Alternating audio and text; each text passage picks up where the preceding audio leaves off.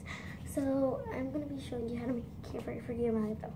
So what you're gonna need is a lot of rocks, little tiny rocks, um, just just rocks.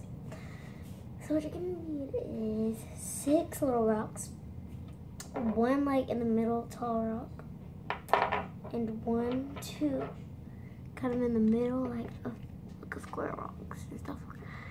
Just think, just make it like a little big, like a tiny rock. Like this. So then you're gonna put all those in a circle. And you're gonna need two of these and one tall. So you're gonna make them in a circle.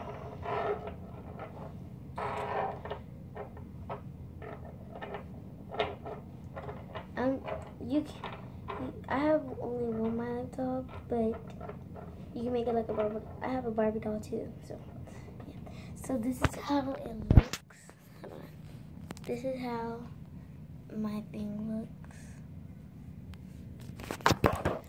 And so then you're gonna take two fragile rocks, two fragile,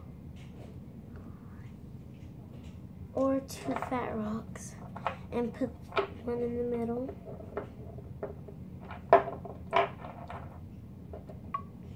You can put that in the middle, or you can you can paint fragile rocks red, but I don't have any paint right now with me. And so you can do that and then put them like a triangle.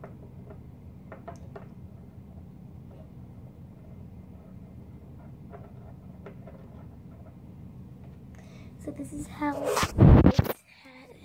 it mine looks. Hold on. Comment, comment down below if you like this. Thank you for watching. Bye.